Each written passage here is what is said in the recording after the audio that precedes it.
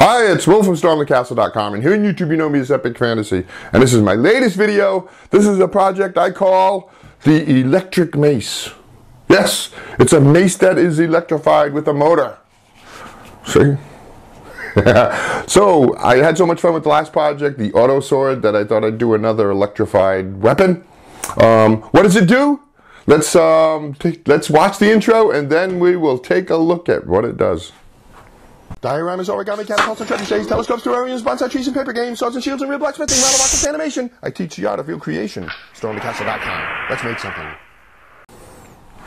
Okay, so let's take a look at the electric mace. Um, and oh, and I'm looking for names for this. You know, electric mace is kind of nice, but maybe there's a better name for it, and you can come up with it. So if you're going to name for this project, let me know uh, what it is by leaving a comment. Here, let's take a look at what it does.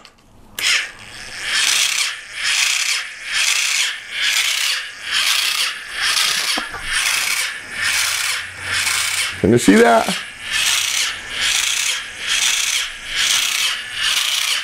That's it.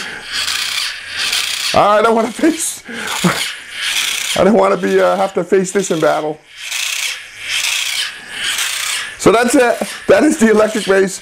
Uh, this isn't a how-to tutorial, but if you want to know more about this project and how I made it, click on the link in the description of this video down below and I got more pictures and information about what I did if you want to make one or you just want to do some kind of an automated weapon.